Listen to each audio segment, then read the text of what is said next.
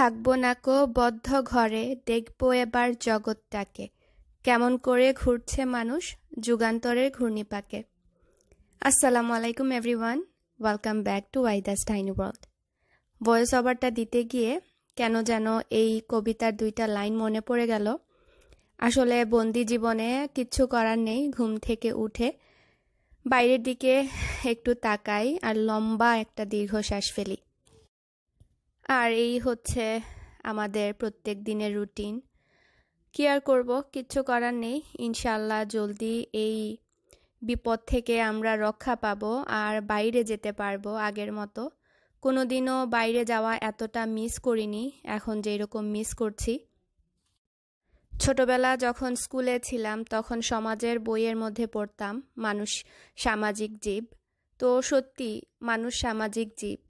মানুষ ছাড়া মানুষ যেমন একদিন কাটানো অসম্ভব, ঠিক সেরকমই লাগছে। যেহেতু ঘরের ভেতরে আমাদের অনেক পরিবার, পরিজন নিয়ে আমরা থাকি, তারপরও চিন্তা করি যারা একা থাকে, ব্যাচেলার ভাই বা একা মানুষ যারা থাকেন, ঘরের মধ্যে বন্দি, আমি চিন্তা করি তাদের দিন কেমন কাটছে। কারণ আমরা যারা পরিবারের সাথে থাকি, কাজকর্মে আমাদের সময়টা চলে যায়। কিন্তু একা যারা থাকেন, তারা কতটুকু খারাপ ফিল করছেন, সেটা ভাবতেই অবাক লাগে। তো আজকে আপনাদের সাথে একটা রেসিপি শেয়ার করব বাচ্চাদের জন্য। কারণ এখন তো আমরা ঘরে বন্দি আর বাইরে ফাস্টফুডগুলো খাওয়া যায় না। মানে খাওয়া সম্ভবও না, পাওয়া গেলেও আমরা অনেক সময় স্কিপ করে থাকি। তো এই যে আমার হাতের নীল পলিশ দেখে আপনারা হয়তো বা বুঝতে পারছেন, এটা আমার প্রায় এক মাস আগে করা। প্রায় পাঁচ বছর পরে শখ করে নীল পলিশটা দিয়েছিলাম। তো যাই হোক, এই যে আমি আলুটা সিদ্ধ করতে দিয়েছি। মাইক্রোওয়েভ ওভেনে তো অনেকের ওভেনেই কিন্তু পটেটো লেখার একটা অপশন থাকে। বাট না থাকলে আপনি জাস্ট পাঁচ মিনিটের জন্য দিয়ে দিতে পারেন। কম হাল কম পটেটো হলে আর কি পাঁচ মিনিটে হয়ে যাবে নয়তো বা দেখা যাবে যে আরও হয়তো বা তিন মিনিট দিতে হবে। তো আট মিনিটের মধ্যেই হয়ে যায় পাঁচ, ছয়টা আলু একসাথে দিলে, বড় বড় আলু যেগুলা, সেগুলা। ঢাকনা দিয়ে ঢেকে দিলেও হয়ে যায়, না দিলেও চলে। তো আমি প্রথম পাঁচ মিনিট ঢাকনা দিয়ে দিই, তারপরে তিন মিনিট ঢাকনা ছাড়া দিই। আর এখানে টুনা ফিশটাকে আমি ক্যান থেকে বের করে, যেটা ইন ওয়াটার, যেটা পানির মধ্যে থাকে, সেটা একটা ঝুড়ির মধ্যে করে ভালো করে ধুয়ে আমি রেখে দিয়েছি যাতে পানিটা ঝরে যায়। আর এখানে পেঁয়াজটাও কেটে নিচ্ছি।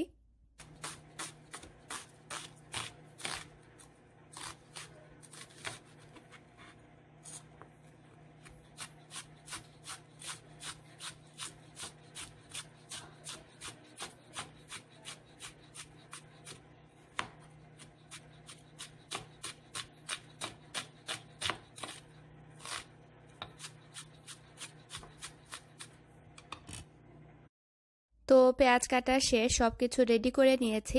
আর এখানে একটা ফ্রাইং প্যানের মধ্যে এনাফ তেল দিয়ে দিচ্ছি। আর আমি আজকে চারটা টুনার ক্যান দিয়ে করব। তো এখানে চারটার জন্য প্রায় দুই টেবিল চামচ থেকে একটু বেশি তেল দিয়েছি।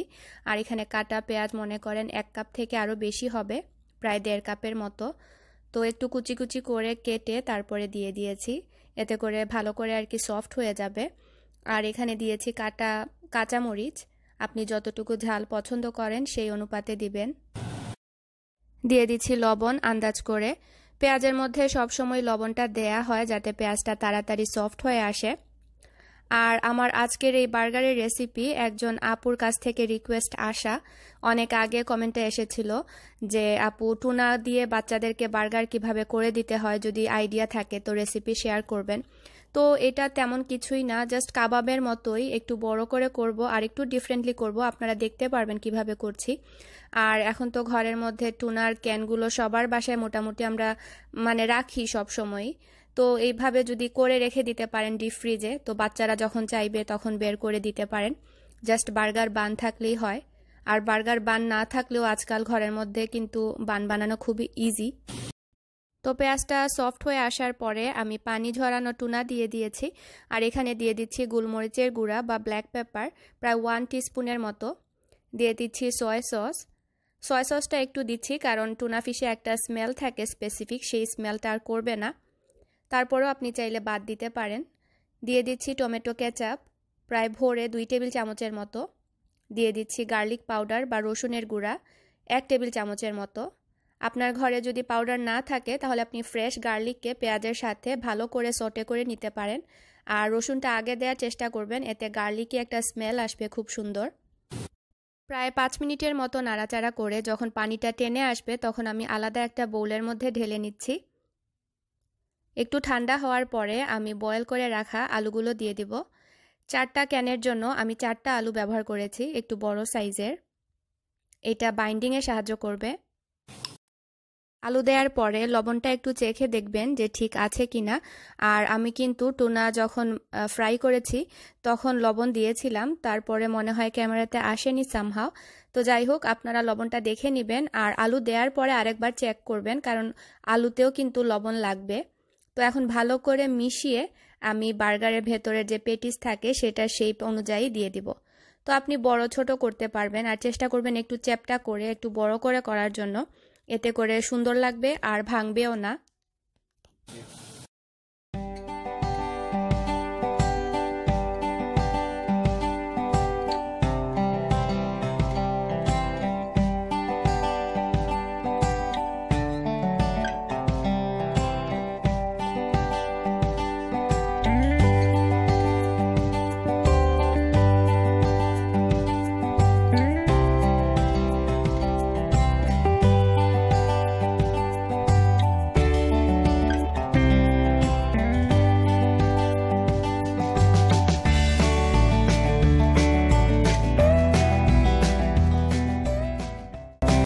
আমার সবগুলো পেটিস বানানো শেষ। এখন একটা ফ্রাইং প্যানের মধ্যে আমি সামান্য তেল দিয়েছি।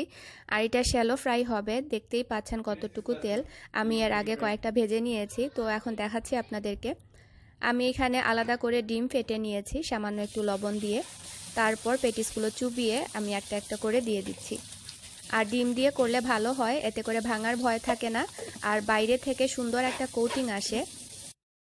আপনারা চাইলে এই পেটিসগুলোকে জাস্ট প্লেটে করে একটা ব্রাউন পেপারের উপরে দিয়ে সুন্দর করে ডিপ ফ্রিজে রেখে দিতে পারেন। আর যখন ঠান্ডা হয়ে যাবে, একদম শক্ত হয়ে যাবে, তখন একটা এয়ারটাইট বক্সে বা জিপলাগের ব্যাগের ভেতরে ভরেও কিন্তু ডিপ ফ্রিজে প্রায় তিন মাসের মতো রেখে দিতে পারেন।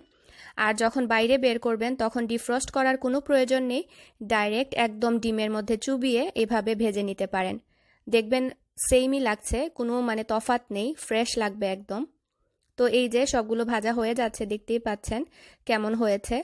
আর আদিয়ানের মুখে শুনতে পারবেন আসলে কেমন হয়েছিল। ও তো বুঝেইনি যে এটা টুনা ফিশ দিয়ে করা। কারণ অনেক সময় দেখা যায় বাচ্চারা ফিশ শুনলে খেতে চায় না। তো এখন বার্গারগুলো সার্ভ করার পালা। আমি বানগুলোকে একটু টোস্ট করে নিয়েছি। আপনি চাইলে বাটার লাগিয়ে একটু টোস্ট করে নিতে পারেন। আর আরেকটা জিনিস, এখন কিন্তু আমরা সবসময় বাইরে যেতে পারি না। সেই ক্ষেত্রে আপনারা করতে পারেন কি, একসাথে কয়েক প্যাকেট এই ধরনের বান এনে ডিপ ফ্রিজে রেখে দিতে পারেন। আর যখন বের করবেন, তখন চুলাতে বলেন আর টোস্টার ওভেনে বলেন। টোস্ট করে নিলে কিন্তু একদম ফ্রেশ বানের মতো হয়ে যায়। আর আপনি স্টোরও করতে পারেন। কারণ বাচ্চাদের ঘরে আসলে এসব লাগে। আর ডিপ ফ্রিজে যদি দুই প্যাকেট এনে রেখে দেন, তাহলে দেখবেন যে সবসময় তো আর বার্গার বান দেওয়া হয় না। হয়তো বা দেখবেন যে এক সপ্তাহে একদিন বা দুই দিন দিচ্ছেন।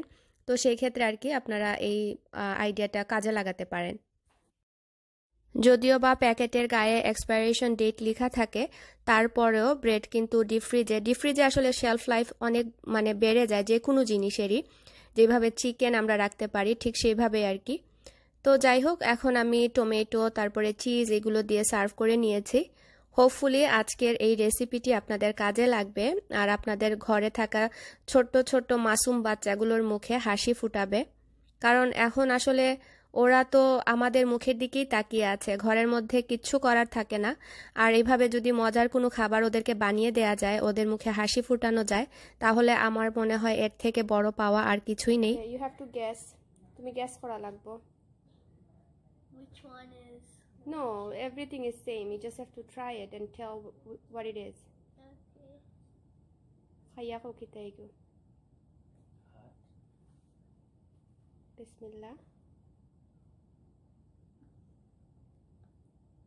I didn't taste this hand yet.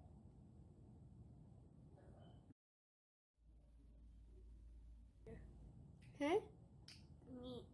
Meet Yeah. Are you sure Yeah. Lock করতাম নি should I lock the answer তো আপনারা শুনতে পারলেন আদিয়ান মনে করেছে এটা মিট দিয়ে করা তো এভাবে ট্রাই করে দেখতে পারেন আর ডিপ ফ্রিজে রেখে দিতে পারেন। হোপফুলি বাচ্চারা পছন্দ করবে। আর আসছে রমজানেও কিন্তু ছোট ছোট বাচ্চারা, বিশেষ করে আট নয় বছরের বাচ্চারা কিন্তু রোজা রাখে। তো আপনারা ইফতারিতেও কিন্তু এই বার্গারটা বানিয়ে দিতে পারেন। আর রোজার কথা বলতে আসলে কেমন যেন লাগছে। দেখতে দেখতে কিন্তু রোজা মাস চলে আসছে সামনে। তো আল্লাহর কাছে কেন যেন একটা পজিটিভ মানে একটা আশা জাগছে মনে। হয়তো বা রমজান মাসের উসিলায় আল্লাহ তালা আমাদেরকে এই বিপদ থেকে রক্ষা দিতে পারেন। কেন জানি না, মনের ভেতরে বারবারই আসছে আর একটা ভালো ফিলিং আসছে ভেতরে যে ইনশাল্লাহ ভালো কিছু হবে ডিউরিং রামাদান কুমাইতে জানি খালা এরে এরে কুমা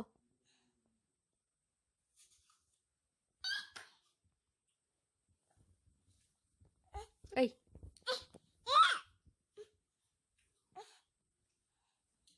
কি তৈছে তোমার?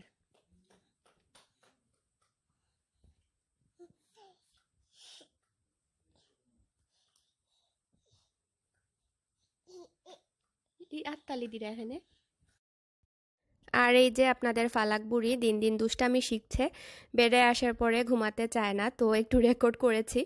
তো এই ছিল আমার আজকের ছোট্ট ভ্লগ আর গত ভ্লগে আপনাদের অনেক ভালোবাসা পেয়েছি। অনেক নতুন নতুন সাবস্ক্রাইবার আমার চ্যানেলে এসেছেন, তাদেরকে ওয়েলকাম জানাচ্ছি। আর আমি রেশমি চুরির কথা বলেছিলাম যে দেশ থেকে আনতে পারিনি, তো এই জন্য অনেক আপুরাই আমাকে সাজেস্ট করেছেন যে প্রিঙ্গলসের যে বক্সগুলো থাকে, খালি এমটি যেগুলো থাকে, সেগুলোর ভেতরে করে নিয়ে আসার জন্য। তো আপনাদেরকে অনেক ধন্যবাদ। আসলে আইডিয়াটা আমার ভালো লেগেছে। আমার মাথায় আসলে তখন কাজ করেনি। তো ইনশাল্লাহ নেক্সট টাইম যখন যাব, আবার এভাবে করে নিয়ে আসব। তো আজকের মতো এখানেই বিদায় নিচ্ছি, আর আপনারা এনজয় করুন আমার ফালাক বুড়ির দুষ্টামিগুলো। দেখুন ও নতুন নতুন কত দুষ্টামি শিখেছে, আর নতুন নতুন কতগুলো ওয়ার্ড শিখেছে।